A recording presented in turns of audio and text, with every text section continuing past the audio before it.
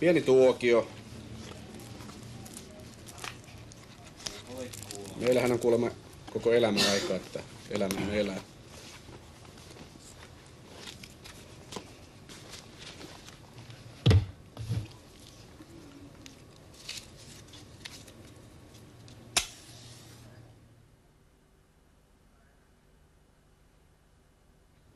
Kertoivat kylillä, että lähdit kumulusyhtiöstä. Eivätkö nuo yhtiöhommat miellyttäneet enää?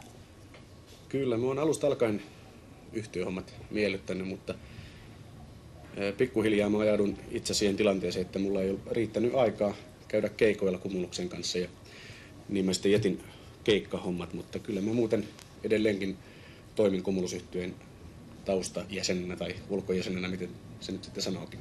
Aiotko kenties tehostaa soololaulajan uraasi?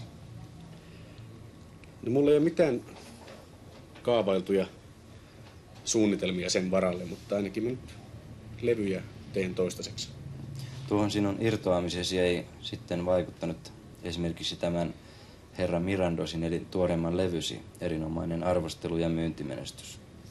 Ei se vaikuttanut siihen yhtään mitään, koska sitäkin levyä tehtiin samanaikaisesti Kumuluksen viimeisimmän LP-levyn kanssa, että ne kulki siinä rinta rinnan ja niin tulee varmasti tapahtumaan edelleenkin.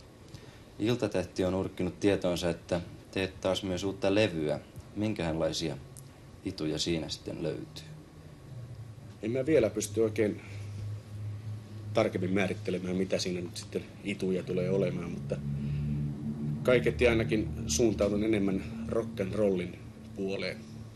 Tähän löytyy ituja jo sitten herran Mirandosista. No osittain kyllä siitäkin. Sitten aivan toisenlaatuiseen asiaan. Lähdet kohtapuoliin ikään kuin ruotuväkeen, menet siviilipalvelukseen. Miksi sinne?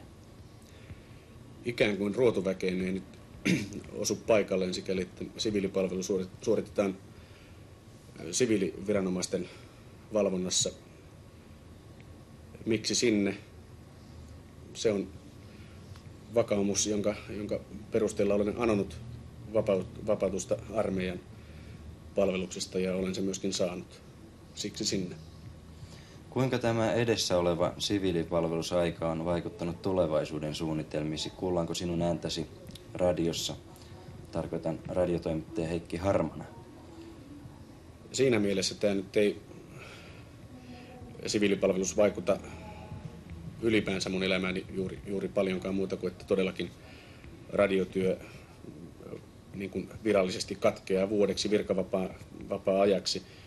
Mutta mä tulen toimittamaan edelleenkin omaa ohjelmaani Pop eilen tänään tämän vuoden aikana. Kenties sitten jotain muuta, mikäli siihen mahdollisuuksia löytyy. Sitten asia, joka liippaa tätä edellistä kysymystä aika läheltä. Suomalaisessa suosikkilehdistössä on väitetty, että pyörität omia levyjäsi radiossa liikaa. Haluaako syytetty puolustautua? Mm. Mulla ei ole mitään puolustettavaa siinä asiassa sikäli, että koko asia on täysin ö, sekavaa. Mä en ymmärrä, mistä tällainen syytös on saanut alkunsa, koska mä en ole koskaan nelivuotisen radiourani aikana soittanut yhtään omaa levyäni radiossa. Et ainuttakaan? En tosiaan ainuttakaan, ja se on myöskin sieltä kaikista teostoraporteista ynnä muista täysin vedenpitävästi tarkistettavissa. Mä en tosiaankaan ymmärrä, mistä tällainen väittämä on saanut alkunsa, ja olen vakuuttunut, ettei siinä asianomaisen lehden pelkkä anteeksi pyyntö tule riittämään.